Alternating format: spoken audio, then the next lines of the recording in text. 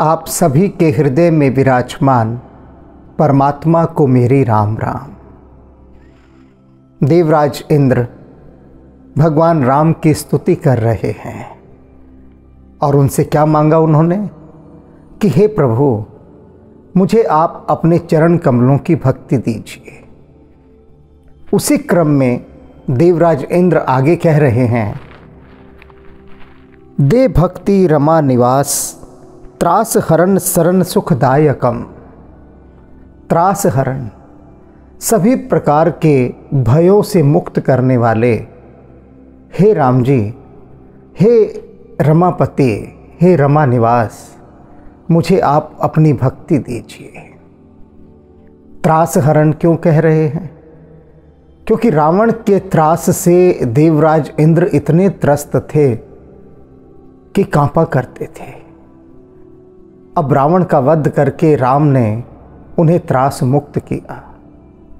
तो कह रहे हैं वे, त्रास हरण शरण सुखदायकम। और जो आपकी शरण में आ गया, हे सुखदायकम, सुख देने वाले आपने उसे तृप्त किया है।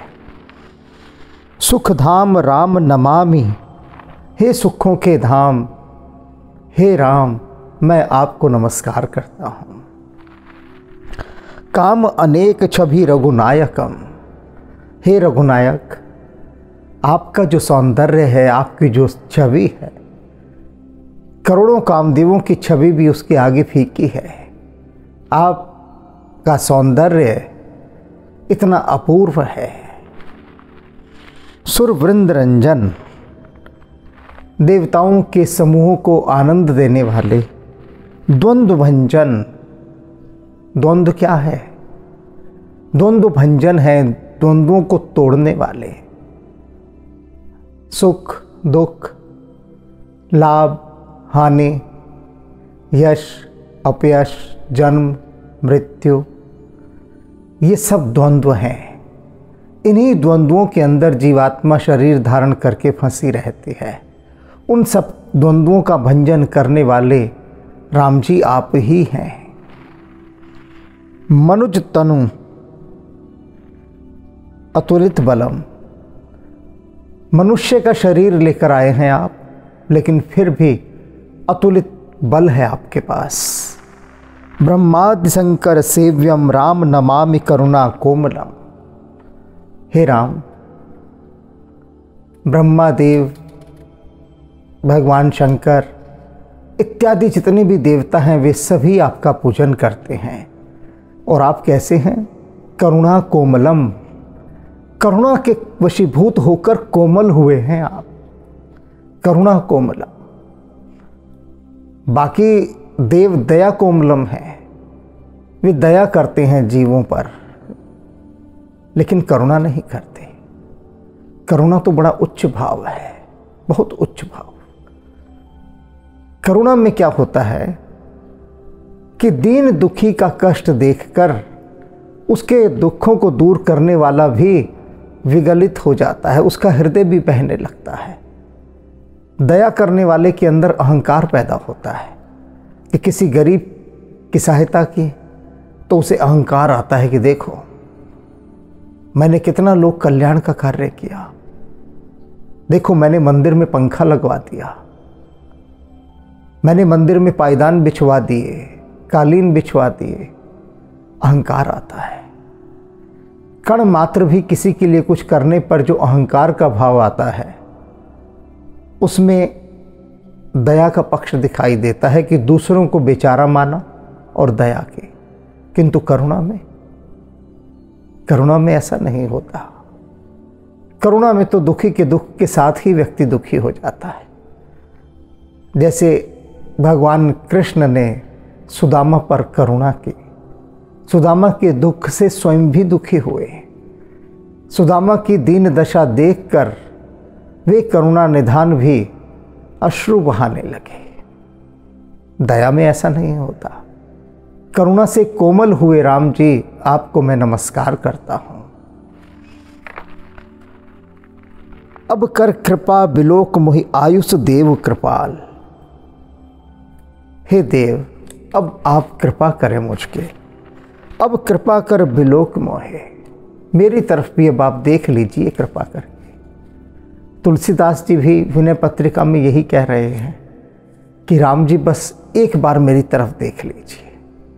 और देवराज इंद्र भी अब यही कह रहे हैं कि हे राम जी, बस एक बार आप कृपा करके मेरी तरफ़ देख लीजिए और मेरे योग्य जो भी आज्ञा हो, आपके मैं आपकी सेवा को प्रस्तुत हूँ। आप बताइए मैं क्या करूँ? कहा करो? क्या करूँ मैं आप मुझे बताइए आपके लिए। सुन प्रिय वचन बोले दीन दयाल। इंद्र के ऐसे प्रिय वचन सुनकर दीन दयाल प्रभु श्री राम उससे कहते हैं, सुन सुरपति, देवताओं के राजा, इंद्र सुनो। कपि भालू हमारे ये जो बंदर हैं और ये भालू है ना, ये हमारे हैं। अपना कहा राम जी ने उनको कि मेरे आदमी हैं ये। और आप सुन ही रहे होंगे विनय पत्रिका। उसमें तुलसीदास जी एक ही हट एक ही रट लगाए हुए हैं कि राम जी, हमें आपसे कुछ नहीं चाहिए, कुछ भी नहीं। बस एक बार कह दीजिए कि तुलसीदास मेरा है।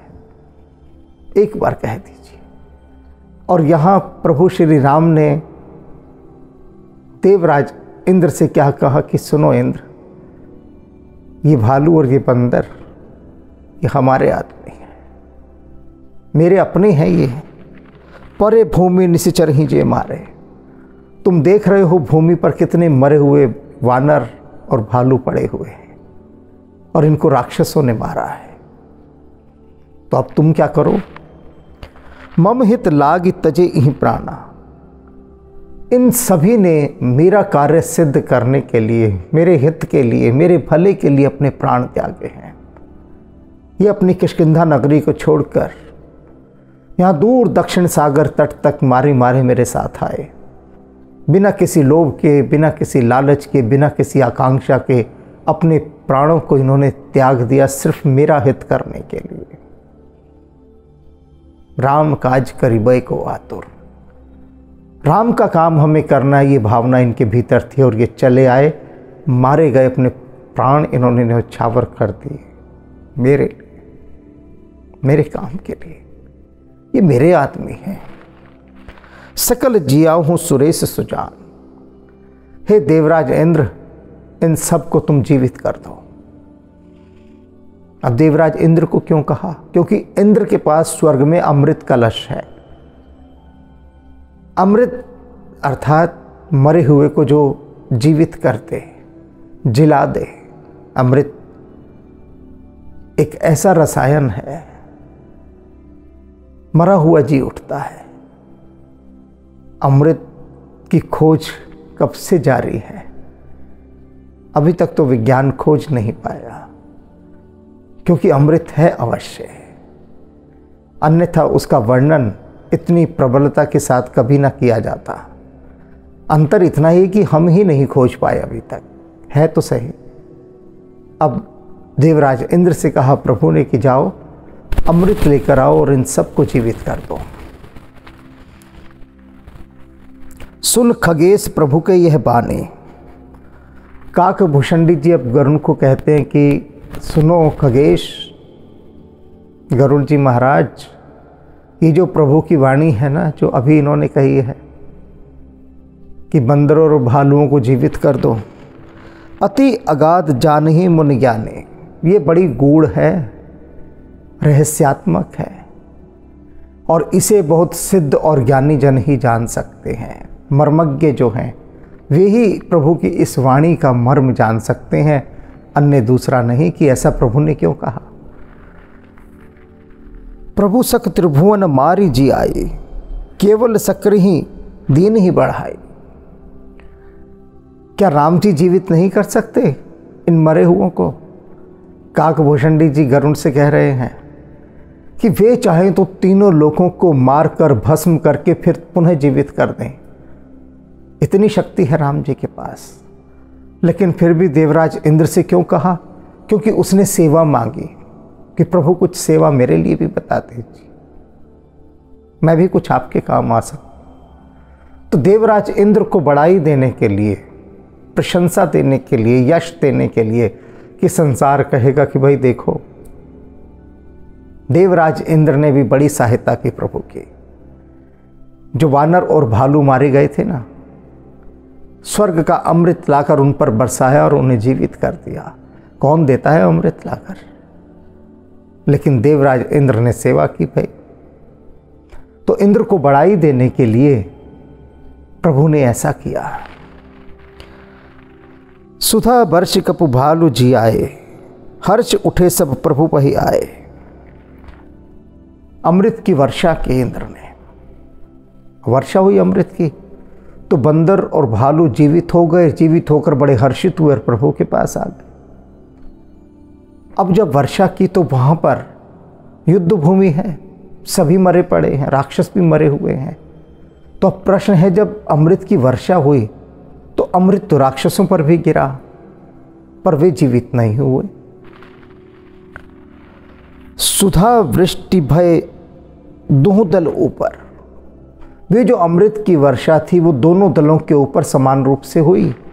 जिए भालू, कपि नहीं नजनीचर केवल भालू और कपि ही जिए नहीं रजनीचर राक्षस जीवित नहीं हुए।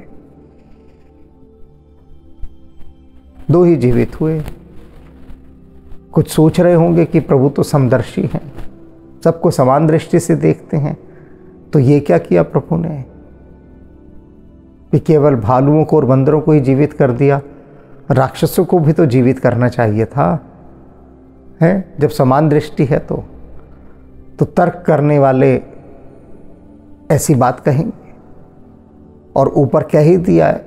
कागभूषणी जी ने गरुण जी को, जिन्हें कथा सुना रहे हैं, कि ये बात बड़ी गूढ़ है, रहस्यात्मक है, सभी लोग नहीं जान सकते। केवल सिद्ध जन ही जान सकते हैं, मुनि ज्ञानी जो हैं, वे ही इसकी बात का मर्म समझ सकते हैं कि ऐसा क्यों कहा। रामाकार भय तिनके मन, मुक्त भय छूटे बहु बंधन। राक्षसों को क्यों नहीं जीवित किया? उसका उत्तर यहाँ दे रहे हैं कि मरते समय राक्षसों के मन में सिर्फ़ राम ही थे। राम का ही नाम ले रहे थे वो युद्ध करते समय। चाहे कह रहे थे, मारो राम को, पकड़ो, जाने न पाए। घेर लो राम को। बस राम राम राम, यही पुकार रहे थे और कुछ नहीं पुकार रहे। और जब मारे गए, मरते समय भी राम का नाम बोला तो क्या हुआ? रामाकार भय। राम के आकार में वे एक हो गए। राम में ही समा गए। तिनके मन, उन राक्षसों के जो मन थे वे राम के साथ एकाकार हो गए। मुक्त भय छूटे भव बंधन। उन्हें तो मोक्ष प्राप्त हो गया, मुक्ति प्राप्त हो गई। तो जब मुक्ति प्राप्त हो गई तो फिर जीवित होने का तो कोई प्रश्न ही नहीं उठता, जीवित हो ही नहीं सकते।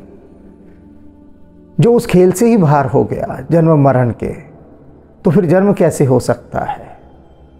वे तो उस नियमावली के अंतर्गत आते ही नहीं। अमृत का उन पर कोई प्रभाव ही नहीं पड़ेगा, क्योंकि प्रभाव तो उस पर हो। जो मरी हुई वस्तु है, जो मुक्त है, जो छूट गई, उस पर कैसे प्रभाव होगा? सुर अंशिक सब कपि अरुरीछा जिए सकल रघुपति की इच्छा। ये जो बंदर और भालू थे, क्यों जीवित हो गए? क्योंकि ये अंश थे जो देवताओं के प्रभु की सहायता करने के लिए आए थे, प्रभु के साथ लीला करने आए थे। और अभी इनकी लीला बाकी है। इनको साथ होना है। इसलिए प्रभु की इच्छा थी कि अभी मेरे साथ ही रहें। इसलिए इनको जीवित कर दिया। इनको अपने लीला का उस हिस्से में भी बनाए रखना था। राम सरिस को दीन हितकारी कीने मुकुत निशाचर झारे। राम के समान भला हितकारी कौन हो सकता है? दीनों का हितकारी, राक्षस। बेचारे कितने दीन थे, पापों में ऐसे लिप्त थे कि अनंत जन्मों तक भी मुक्ति नहीं मिल सकती थी। किंतु कीने मुकुत निशाचर झारे। इन निशाचरों को, इन राक्षसों को राम जी ने मुक्त कर दिया। खलमल धाम कामरत रावण। और जो रावण था वो कैसा था? खल, दुष्ट, मल धाम। कीचड़ का घर था, मल का, गंदगी का ढेर था। कामरत, काम वासना में ही रत रहता था, लीन रहता था। गति पाई जो मुनिबर पावना। और कैसी गति दी प्रभु ने उसको? जो मुनियों को भी प्राप्त नहीं होती। अनंत अनंत जन्मों तक मुनि साधना करते हैं कि उस परम गति को प्राप्त कर लें जो राम के धाम में जाती है। किंतु उनको भी नहीं मिलती। और रावण जैसे मल के ढेर को काम वासना में जो लिप्त रहता था, दुष्ट था, उसको प्रभु ने ऐसी गति दे दी। इनके समान दीनों पर हित करने वाला भला कौन है? और राम की मौज, राम की लीला। इसीलिए पहले ही काक भूषणी जी ने गरुड़ को कह दिया है कि गरुड़ महाराज, जरा संभल कर सुनना, कहीं संदेह ना आ जाए कि राम जी ये क्या कर रहे हैं, क्योंकि राम की लीला राम ही जाने, या फिर जो गूढ़ ज्ञानी जन है वे ही जान सकते हैं कि ऐसा क्यों किया। सुमन वर्ष सब सुर चले चढ़ चढ़ी रुचिर विमान। अब अनंत अनंत देवता आए हुए थे। ये सारा दृश्य देखने, सभी ने पुष्प वर्षा की और सभी इस दृश्य का आनंद लेते हुए अपने अपने विमानों पर चढ़कर अपने अपने लोक को वापस चले गए। सब चले गए। ब्रह्मा जी भी चले गए, देवराज इंद्र भी चले गए। अब रह गए हैं राम जी, सीता जी, लक्ष्मण और बाकी हनुमान जी, सुग्रीव मुख्य मुख्य लोग यही रह गए। तो अब कौन आएगा? देख सुअसर प्रभु पही, आए हूँ शंभु सुजान। भोले बाबा आए हैं अब। ओम नमः शिवाय, शंकर भगवान। इस सुअवसर को देखकर कि अच्छा है, सब लोग जा चुके, सब निबट गए सबने अपने अपने मन की राम जी को कह ली। इस सुअवसर को देखने के बाद वे जो सुजान हैं, वे जो परम सयाने हैं, वे सुजान, वे शंकर भगवान, वे भोले बाबा अब राम जी से मिलने आए हैं। सबके जाने के बाद, सभी के जाने के अब सोचिए कि आप कौन सा प्रसंग सुन रहे हैं। सोचने को कह रहा हूँ, सोचने की बात नहीं है, लेकिन बुद्धि के अतिरिक्त कुछ है भी तो नहीं। वही तो सुचवाएगी, या फिर हृदय है। तो दोनों को ही लगाकर सोचिए कि कैसा प्रसंग आपने सुना है। ब्रह्मा जी आ रहे हैं। भगवान की स्तुति कर रहे हैं।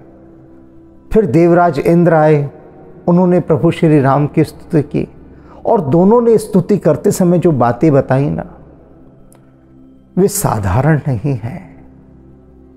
राम जी के विषय में कौन कह रहा है? कोई साधारण व्यक्ति नहीं कह रहा। कहने वाले ब्रह्मा जी हैं, देवराज इंद्र हैं। तो इन दोनों ने जो भी बातें बताई उनको बारंबार श्रवण कर रहा है। बारंबार। क्योंकि तभी बात बनेगी कुछ। किसने कहा, ये बहुत महत्वपूर्ण होता है। क्या कहा, ये महत्वपूर्ण इतना नहीं है? किसने कहा? एक बात ब्रह्मा जी कह रहे हैं, देवराज इंद्र कह रहे हैं प्रभु श्री राम के संबंध में। तो निश्चित रूप से वह बहुत गूढ़ बात होगी, गहरी बात होगी टॉप सीक्रेट होगा। और वो हमारे सबके सामने कही जा रही है। और इसलिए उस बात को पी लेना, उस बात को जी लेना, समझ लीजिए कि बात बनने की बात है फिर।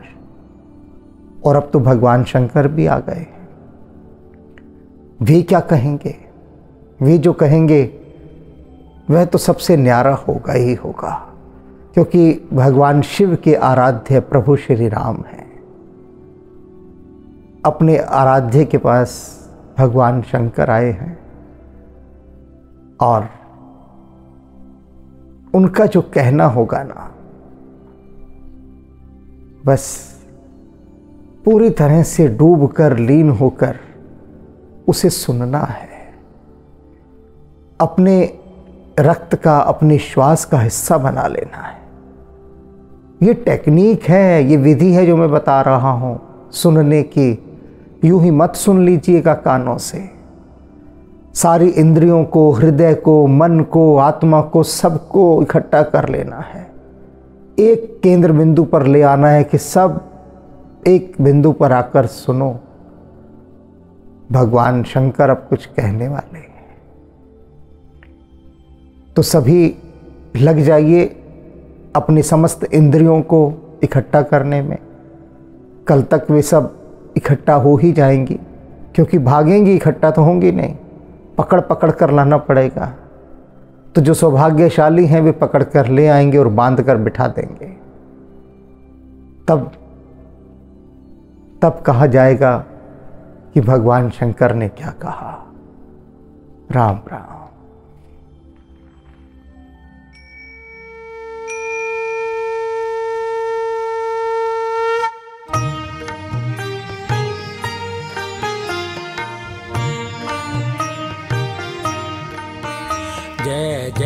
कपिनायक निज सुखदायक, शंकर स्वयं अनूपा। जय भक्ति विकासक, दुर्गुण नाशक सचिदानंद स्वरूपा। जय पवन कुमारा, परम उदारा, केसरी कुंवर स्वरूपा। जय अंजन नंदन सुर मुनिरंजन दुख भंजन सुख रूपा। दुख भंजन सुख रूपा